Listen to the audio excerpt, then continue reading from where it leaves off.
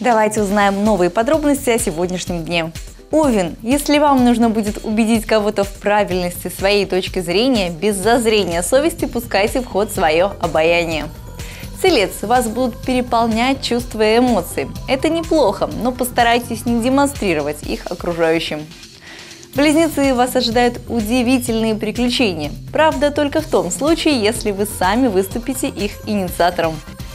Рак, вам стоит проявить осторожность в планах, которые кажутся слишком привлекательными. Лев, вы сможете немного полентяничать и насладиться приятными для вас занятиями.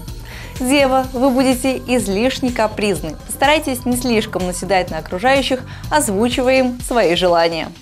Весы, воспользуйтесь своей интуицией при принятии важных решений. Скорпион, перестаньте паниковать и доверьтесь своим самым близким друзьям.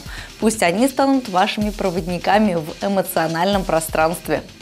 Стрелец, несколько раз подумайте, прежде чем принимать какое-то рискованное решение. Козерог, у вас может резко вырасти интерес к религии или мистике.